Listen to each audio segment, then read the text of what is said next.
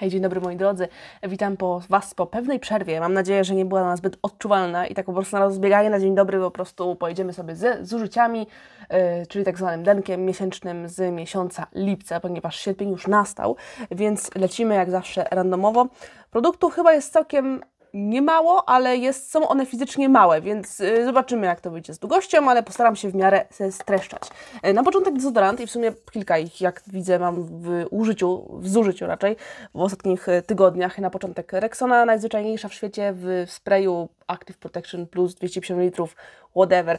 To jest najzwyklejszy dezodorant świata, ale Rexony akurat w moim przypadku się całkiem fajnie sprawdzają, są takim dobrym go-to, jeśli chodzi o zwykły dezodorant, jak potrzebuję czegoś na już, po prostu w życiu, co wiem, że będzie całkiem skuteczne i spoko, to to w sumie zawsze się sprawdzało na przestrzeni lat. E, akurat te takie w formie aerozolowej, one są naprawdę skuteczne i fajne, ja widzę różnicę generalnie, yy, znaczy widzę po prostu ich skuteczność jako taką, co jest super, ale szczerze mówiąc muszę przyznać, że na przestrzeni lat też zauważyłam, że jednak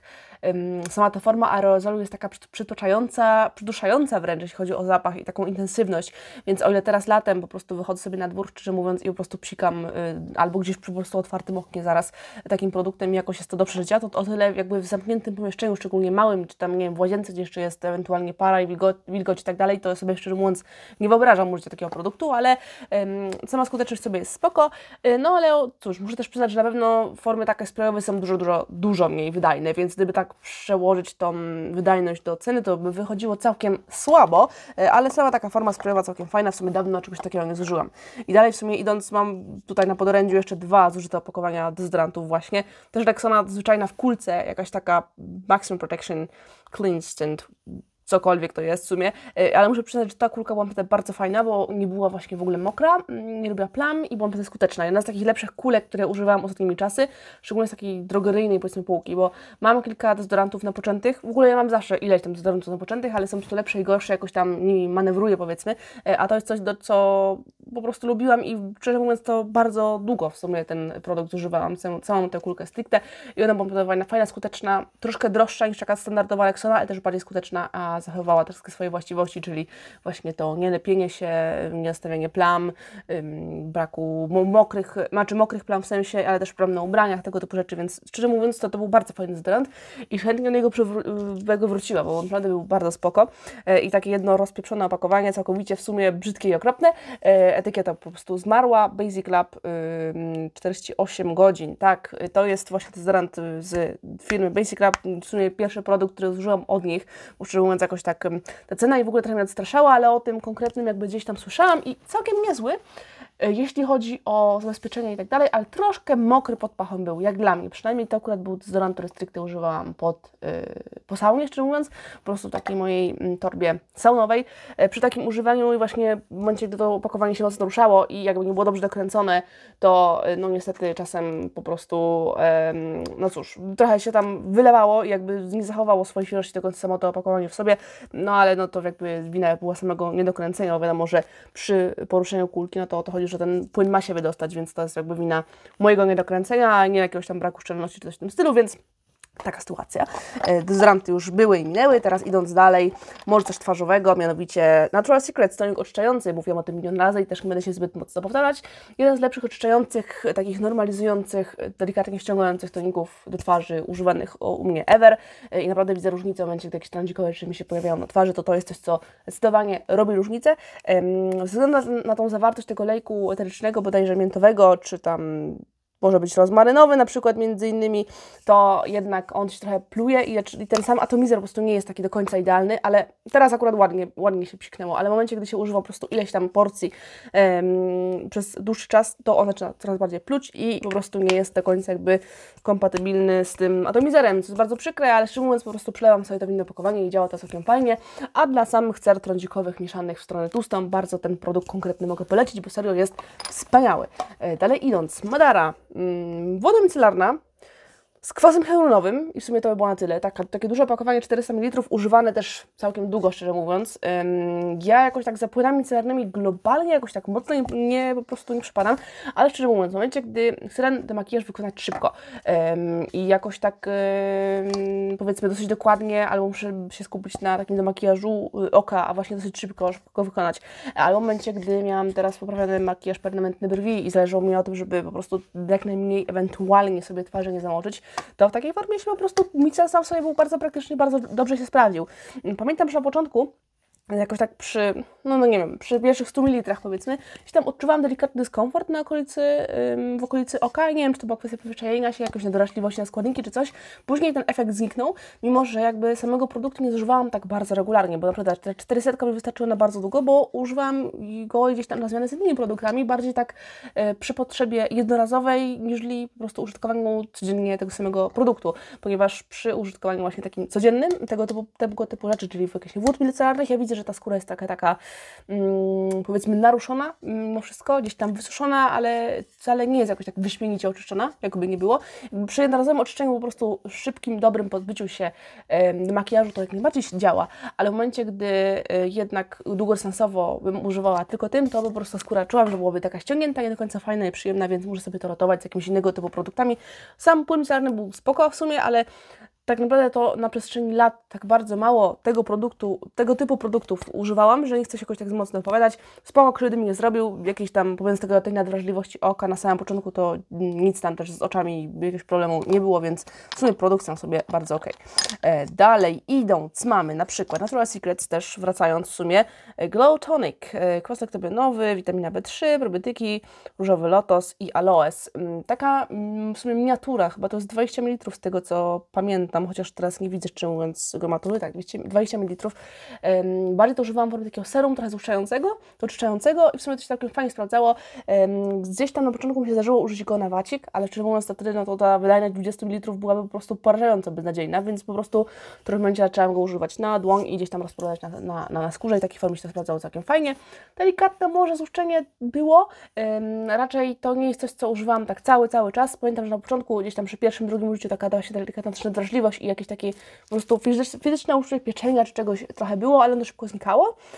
a potem też się też skóra do tego przyzwyczaiła, też nie używam tego bardzo regularnie, więc patrząc na to, że to było jedyne 20 ml i nie używałam go jakby ciągiem mimo wszystko, mm, to e, no cóż, przydałoby się jakby ponownie kupić opakowanie najlepiej w dużej wersji, ponieważ dosyć podobne e, obserwacje miałam na temat esencji oleosowej, która jest generalnie bardzo lubionym i fajnym kosmetykiem Natural Secrets, a ja jakoś tak przy, po tym użyciu tej małej dwudziestki mm, nie zachwyciło mnie tyle, żeby kupić dużą wersję. I w sumie w tym przypadku jest podobnie, chociaż muszę przyznać, że ten właśnie mm, złuszczający tonik w takiej formie jest dla mnie bardziej interesujący i być może gdzieś tam jakiejś jesieni na naturaliach, może w sumie bym się gdzieś tam, e, gdzieś tam bym się skusiła, bo e, w sumie sam produkt sobie jest dosyć interesujący. E, dalej Bio2You, mm, Terex Purifying Face Mask. Chyba o tych bio-to-yowych e, gdzieś tam maskach wspominałam wcześniej. Kupiłam na jakiejś mocnej przecenie, na mocnym terminowaniu. Taka powiedzmy siostra maskowa tej maski z białą glinką. Ta jest akurat z węglem aktywnym i również jest z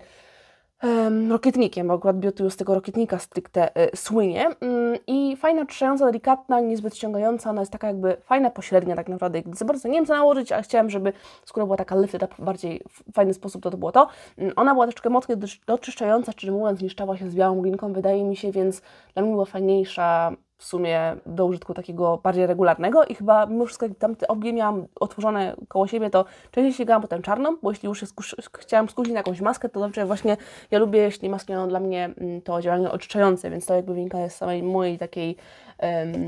cóż, mm, powiedzmy preferencji, e, a nie jakby tego, że sam jeden produkt był gorszy czy tam lepszy od drugiego, e, ale sama maska w sobie naprawdę zrobiła mnie wrażenie. Jeszcze mam właśnie tą z białą dynką odpaloną teraz ostatnią. E, no i cóż, bardzo fajne i przyjemne maski. Wydaje mi się, że ogólnie ja większą przyjemność teraz będę odczuwać właśnie na jesień, zimę, gdy będzie trochę taki mniejszy powiedzmy okres, bo jednak one są tak, też takie odżywcze i takie mm, balansujące w taki fajny, neutralny sposób, a teraz to oczyszczenie dla mnie jest trochę nawet istotniejsze i na przykład w tym momencie szczerze mówiąc, chyba wolę sobie po prostu zrobić takie maski domowe, jakieś właśnie na glinkach po prostu sproszkowanych, ale to w takiej formie czystej od razu, żeby sobie nałożyć i mieć w sumie z głowy temat jakby sam taki mm, pośredni i żeby ta skóra od razu wyglądała lepiej, to się zdecydowanie sprawdzało. I naprawdę generalnie Biotuju zainteresowało mnie dosyć mocno, jakby sam, same, same produkty w sobie, może używałam tylko maski póki co na twarzy, to jakby no właśnie produkty wydają się na tyle ciekawe, że w sumie fajnie byłoby dać im szansę i spróbować czegoś dalej. Um, mam tutaj mydło w płynie, miłość, jakaś taka tester dostany też na naturaliach 100 ml. Zrzucę całkiem szybko, bo szczerze mówiąc to po prostu przelałam sobie to opakowanie, bo ono jest szklane z takim normalnym, zwykłym dzióbkiem, powiedzmy, bez e, żadnego stopera, bez niczego, więc po prostu przelane zostało to w jakąś tam inną formę. E, fajny, przyjemny, zapach mocniejszy niż takie mydło, które używam ostatnio. Ja akurat ten grapefruit bardzo lubię, bo on mi się tak, właśnie ta miłość to jest grapefruit z jangiem bodajże, ale dużo tego grapefruita czuć. Ja akurat ten zapach stricte bardzo lubię, w ogóle, nie wiem, herbatę z grapefruitem lubię, jakby to jest zapach, który jest dla mnie po prostu bardzo przyjemny. Nawet sobie tak myślę, że mogłabym mieć jakąś tam mgiełkę zapachową właśnie z takim grapefruitowym zapachem. To było całkiem fajne, miłe, przyjemne właśnie. E, I olejek na przykład do, do, nie do, do makijażu, olejek do masażu miałam właśnie z tej serii szpakowej i mydło też było bardzo fajne. Wydaje mi się, że takim właśnie kombo to w ogóle byłoby super ekstra fajne. Dość intensywnie, dość intensywny zapach, ale on szybko się y, powiedzmy ulatniał. Stricte do mycia dłoni, szczerze mówiąc. Gdzieś tam może mi się też zdarzyło umyć czy coś tam innego, ale generalnie tak po prostu y, szybko po łazience. 100 ml zużyte było całkiem szybko, ale same mydła, jak te wszystkie inne, o których kiedykolwiek wspominałam, od czterech szpaków, bardzo fajne i przyjemne. E, dalej Dalej, tonik, e, a mianowicie tonik Esencja z uzdrowiska, roślinnie aktywny, bezwacikowy na ładną cerę. Bezwacikowy stricte dlatego oni to tak nazywają, ponieważ produkt bardzo gęsty, naprawdę mm, bardziej jako taki żel bym powiedziała, że to jest wręcz tak naprawdę. On wydaje mi się też z czasem trochę zgęstniał, bo jednak ten produkt miał bardzo długo otwarty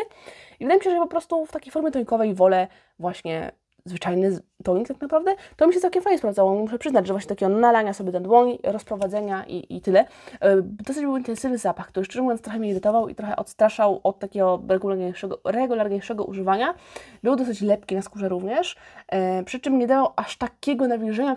którego bym e, chciała uzyskać przy właśnie tak lepkim produkcie, powiedzmy. Nie wiem, czy to ma sens, ale mniej więcej tak to odczuwałam. Szczerze mówiąc, to był też taki dosyć duży czas, że przez większość tego opakowania chyba go użyłam mimo wszystko na wacik, tylko że dosłownie przez to, że ten produkt był taki gęsty, to trzeba było fizycznie nałożyć go trochę na wacik, on jakby zostawał na nim, musiałam go złożyć na pół, e, żeby on dosłownie wsiąknął w środek e, tej bawełny i dopiero wtedy mogłam gdzieś tam, e, nie wiem, dokonać demakijażu dokładniejszego, czy oczyszczenia jako takiego, ponieważ właśnie było to jakby za gęste i inaczej to się po prostu nie, nie rozprowadzało ten wacik w żaden sposób, tylko po prostu po mm, twarzy jakby bez tego kontaktu z tym wacikiem, co było bez sensu, ale gdy się tak właśnie go sfoldowało, gdy się tak złożyło, to to nawet działało, więc tak tylko mówię, ogólnie to tak do doczyszczenia było spoko, zapach był zbyt intensywny. Gdyby on był po prostu, gdyby był on mniej intensywny w zapachu, i trochę jakby lżejszy, w sensie ta gęstość byłaby niższa, to dla mnie to byłby w ogóle świetny, świetny produkt. Ale on jest bardzo ciekawy, generalnie też nie jest drogi i właśnie przez, to, przez tą jego gęstość to, to 150 ml starczało naprawdę na do po prostu wieki. Był mi kosmicznie wydajny, więc to trzeba przyznać. Więc jeśli szukacie czegoś takiego właśnie pośredniego między jakąś taką esencją, żelem, czymś takim tonikowym, mieć taki produkt wszystko w jednym, to to generalnie jest to. Tylko to, że akurat mi się tam jakoś tam niekoniecznie podpasował, to jest inna kwestia, ale wydaje mi się, że to jest warte próbowania, zobaczenia, bo naprawdę za fajną cenę można ten produkt spróbować widziałam, że nie wiem, chyba w Rossmanach jest taki normalny dostępny super farmie na pewno, więc warte wypróbowania. E, dalej, Cerko, 10%, 10% żel do skóry głowy? Jest, dokładnie, tak, już też o Cerko gdzieś tam wspominałam też milion razy tak naprawdę do skóry głowy, jednak że to jest coś, co mi się sprawdza całkiem fajnie. Góry sensowo tak, tak zmniejsza po prostu świąt, jakieś takie czy pieczenia, czy jakiegoś takiego ogólnego dyskomfortu na skórze głowy, po prostu w formie takiego peelingu logicznego, że ja to tak używam już od lat tak naprawdę i mi się to fajnie sprawdza, więc takie coś. Dalej mamy serum i to nawet w jakiejś ilości mnogiej, ale najpierw zacznijmy od bracia mydlarze, My Serum Shake and Shine. E, serum do twarzy właśnie ono chyba z witaminą C jest w jakiejś takiej dziwnej formie, która nawet osadziła się trochę na butelce, możemy to zademonstrować tutaj teraz w tym momencie.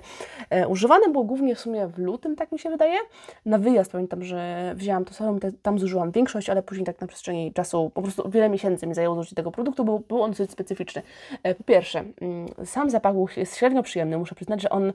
chyba nie ma dodatków zapachowych, tylko pachnie tymi surowcami, ale to jest takie średnio fajne. I jakoś tak, nie wiem, no ten zapach gdzieś troszkę mnie odpychał i w momencie, gdy miałam potem, wróciłam do domu z tego swojego wyjazdu, gdzie zużyłam większość tego i miałam po prostu milion różnych buteleczek potwieranych, to tak mało chętnie do niego sięgałam, między innymi z tego względu. I w sumie to jest dosyć ciekawe, bo ja kiedyś tak, a bardzo, kiedyś naprawdę tak bardzo nie zwracałam uwagi na zapach, a teraz jakby już coraz częściej to wspominam i czuję to, że jestem coraz bardziej wybredna, jeśli chodzi o intensywność zapachu i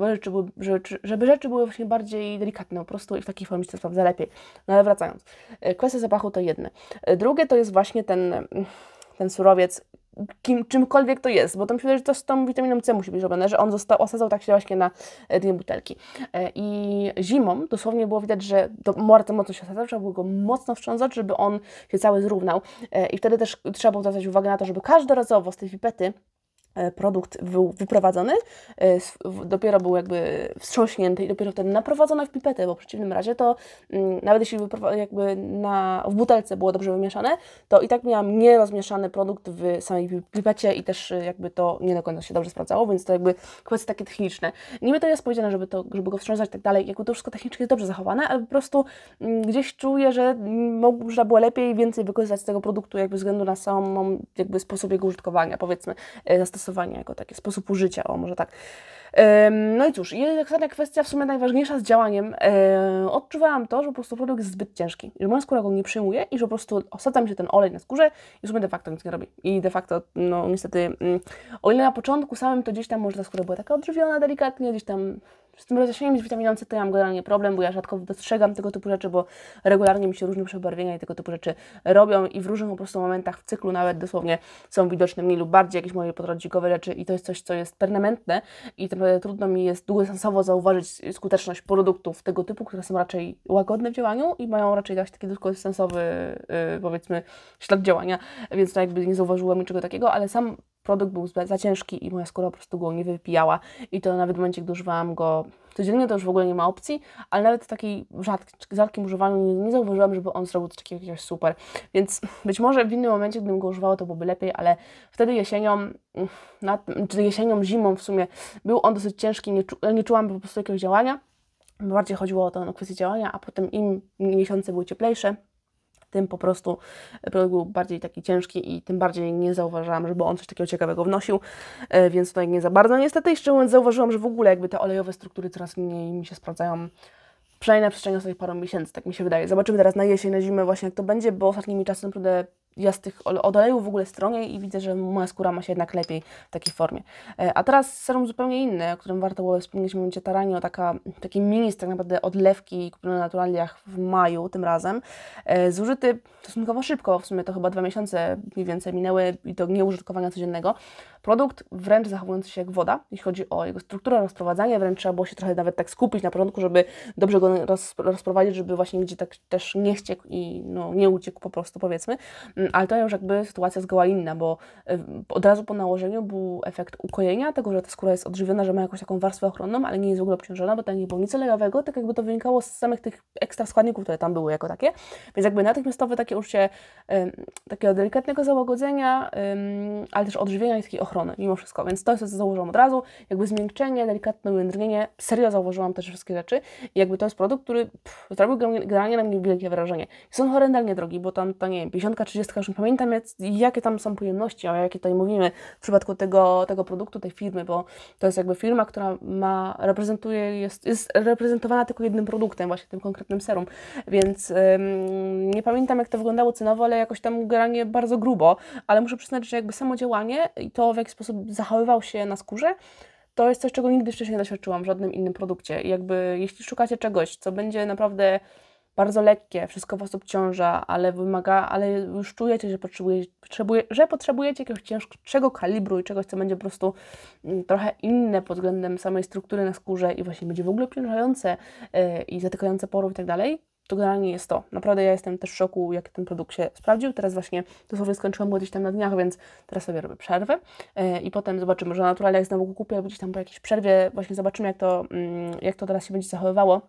jak troszeczkę temperatura spadnie, czy tam może właśnie w okolicach września, października, czy właśnie w te olejowe struktury bardziej wrócę i to by się sprawdzi lepiej, czy właśnie nie, będzie lepiej wrócić właśnie w coś takiego. Więc to zaobserwuję i zobaczymy, jak to będzie wyglądało, ponieważ no, produkt zrobił na mnie wielkie wrażenie i właśnie w momencie, gdy miałam to,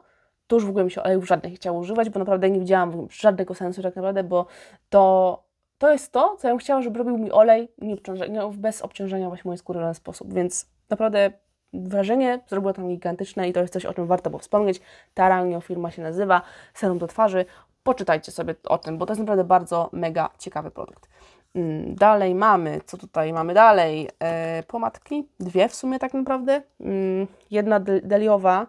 blueberry lip care, coś takiego, zwyczajna jagodowa z takim zapaszkiem właśnie jagodowym, taka normalna do auta w sumie fajna, bo miała taką odmienną twardość w sumie. I ten zapach, ten smak w sumie, on był trochę sztuczny, jak taka jagobella jagodowa w sumie, ale nie wiem, jakiś taki specjalnie męczący. I taka też pościerana, w ogóle wydubana do samego końca y, pomadka, która nawet już nie wiem jak się nazywa, bo jest po prostu, o, Oi, Ois, Ois czy coś w tym stylu, e, kupiona w ogóle w DM-ie w, mm, na Węgrzech, więc to jakby też nieistotna kwestia. Bardzo też taka zwyczajna normalna, więc jak dwie takie ochronne pomadeczki. E, z Deli mam jeszcze coś takiego jak olej konopny, taki śmieszny miks, oni mają takie jakby składniki aktywne, jakby takie ampułki z jakiejś po prostu niby teoretycznie do zrobienia sobie samemu kremu, czyli kupujesz sobie bazę kremową i kupujesz sobie tam, nie wiem, ze dwa, trzy, tam ileś tych ekstra składników aktywnych i sobie to jakoś tam mieszasz. To akurat był nie tylko olej konopny, tylko tam był, nie wiem, słonczykowe na bazie jakieś tam inne, więc szczerze mówiąc to, no ogólnie ja już, y, ja oleje jako takie czyste y, bardzo lubię używać, zresztą dawno tego nie robiłam właśnie w takiej zwyczajnej formie, tak do ciała, w peelingach, do głowy, do skóry głowy, czy tam, nie wiem, właśnie tak do twarzy po prostu czysto. I akurat konopia jest taka fajna, łagodząca i przyjemna. I to nawet tak całkiem fajnie się sprawdzało i szczerze mówiąc jakby, to, przez to, że to był miks, to ja to użyłam parę razy po prostu tak na włosy do wcierania gdzieś tak w formie ole, zaolejowania i szczerze mówiąc to w takiej formie się sprawdziło bardzo dobrze. Um, Inwak, wspomnę o tym, mówiłam o tym pewno w innych formach, mieć taki żel dopuchwowy, um, ginekologiczny żel do stosowania u kobiet i w celu wspomagania leczenia pierwotnych i nawracających zakażeń okolic intymnych. Ja wspominałam pewno nieraz o, powiedzmy, siostrze tego, takiej różowej, czyli Prowak, a to jest Inwak.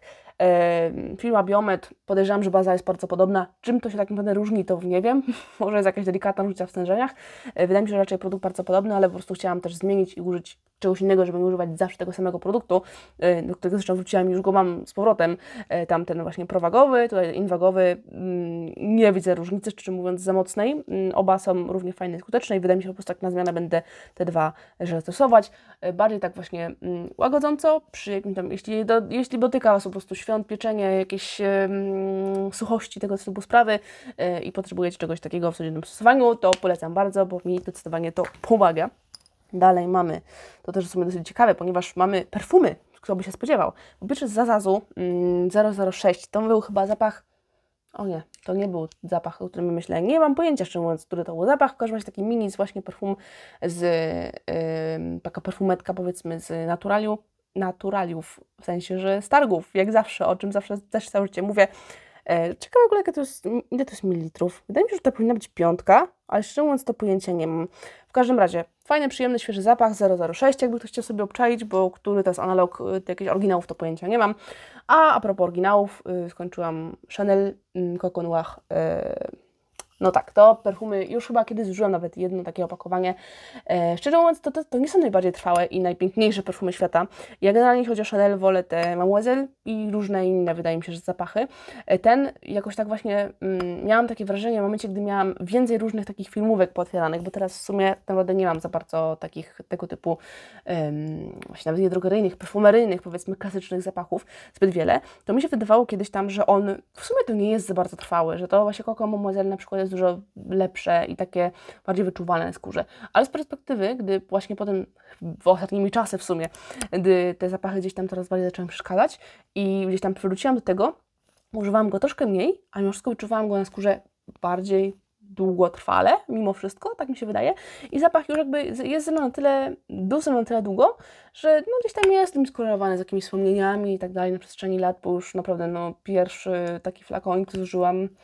nie podejrzewam, że może z 5 lat temu już go miałam, więc w sumie mm, mam z tym zapachem całkiem dużo fajnych, ciepłych wspomnień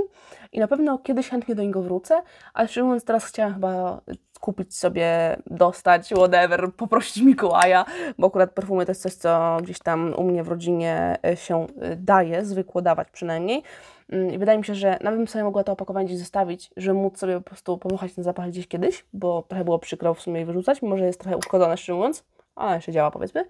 Ale że gdzieś tam mieć takie, takie wspomnienie tego, a teraz bym chciała w sumie mieć jakieś inne, inne perfumy tego typu, jakby z takiego, z takiej może nuty zapachowej. Jeśli chodzi o te serca, głowy i tak dalej, to pojęcia nie mam, nie znam się na tym, więc nie będę nawet mówić, ale sam zapach ma coś w sobie. Jest y, taki elegancki, nie nadto ciężki, ale wyczuwalny, jest, y, ma charakter jakiś sobie pewien, więc tutaj jakby coś takiego. I jeszcze a propos, y, zawsze tam gdzieś tam ostatnio mówiłam, że właśnie zaczęłam filmy, y, zaczęłam filmy, zaczęłam pracę w filmie produkcyjnej, gdzie tam mam okazję różne próbki produktów najróżniejszych sobie wypróbować i akurat w tym miesiącu po prostu mam małe opakowanie po odżywce do włosów i w sumie po szamponie z tej samej serii, tak, z wodą jaśminową, że pamiętam, że chyba szampon jest Chyba jest bez silikonów, chociaż nie wiem, ale bo to nie jest napisane i właśnie ta e, maska taka bardziej odżywcza. Maska akurat była bardzo fajna. Szampon nie do końca mi się tam sprawdził, ale akurat maska była git. No i w sumie to by było tyle. Jak zwykle filmik bardzo długi. No i cóż, dzięki za oglądanie i do następnego. Siema.